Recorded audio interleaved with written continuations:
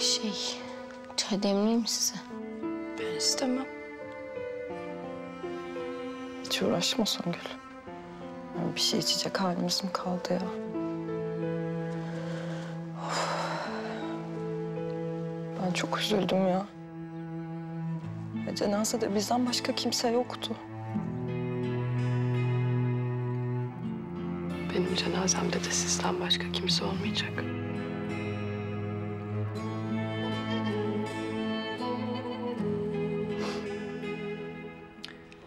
Kader böyle konuşma. Kendi acımayı bırak lütfen. Zavallı gibi konuşuyorsun. Nasıl konuşayım? Meral Lokumcuzade gibi mi? Daha mı özgüvenli olayım? Zavallıyım işte kızım. Olduğum gibi konuşuyorum. Para mesele değil. Benim olan her şey sizin zaten canısı. Meral ben paradan mı bahsediyorum? Parayla çözülmüyor her şey. Ben cebimde beş kuruş param olmasın ama birileri beni sevsin isterdim.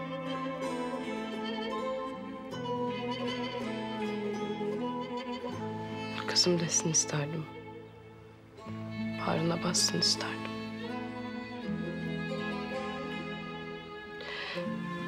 Mesela sen dedeni buldun. Sevdi seni torunum dedi. Kızım beni kimse sevmedi.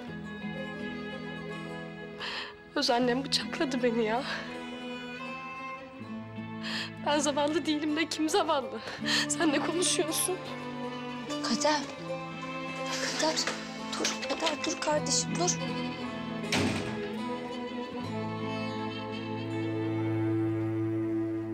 Ben artık dayanamıyorum.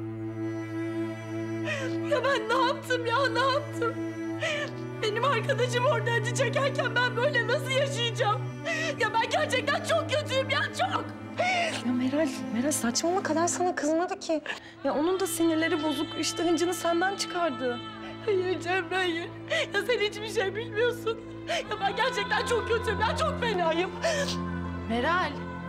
Meral! Gittiler.